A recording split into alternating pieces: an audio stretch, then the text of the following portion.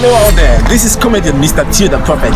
I am here to wish each and every mother out there a happy Mother's Day.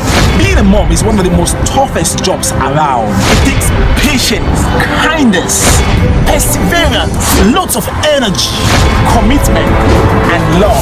A good mother is trustworthy.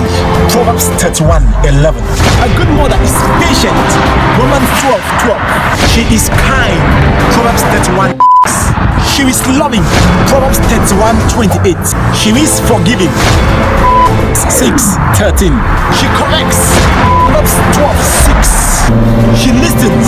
James 1 19. She is wise. Proverbs 31 26. She is godly. Psalms 4 verse 3. She is humble. John 13 14. She is self sacrificing. Romans 12 1. She is consistent. 1 Corinthians 15 58. She encourages. Ephesians 5 19. And above all, she is a happy woman.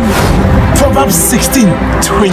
In case you didn't know, you are doing a wonderful job, a great job, a perfect job. To all the mothers out there, I want to wish you a happy Mother's Day. God bless you, and may God give you the grace go through this year's Mother's Day in a grand success. I wish you the best this Mother's Day.